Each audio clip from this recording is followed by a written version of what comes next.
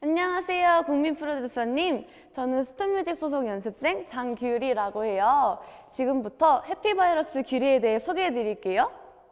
저는 웃을 때 반달이 되는 이 눈웃음 때문에 닮은 꼴이 하나 있어요. 바로 이 개죽이에요. 어떤가요? 닮았나요? 그리고 저는 맑은 목소리를 가지고 있어요.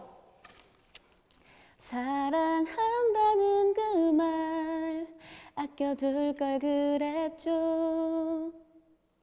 마지막으로 저는 보기만 해도 기분이 좋아지는 밝은 에너지를 갖고 있답니다. Music start!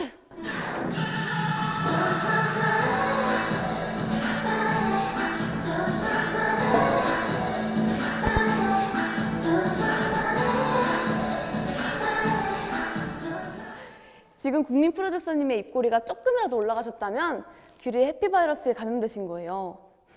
규리가 계속 보고 싶으시다면 지금 당장 투표해주세요. 안녕하세요 에릭남입니다. 네, 저는 이번 프로듀스 48 스톤 뮤직 연습생들 배은영, 장규리, 이시안 그리고 조유리 연습생들을 응원합니다. 여러분 화이팅 하시고요 힘내시고요 많은 투표 부탁드립니다. 스톤 뮤직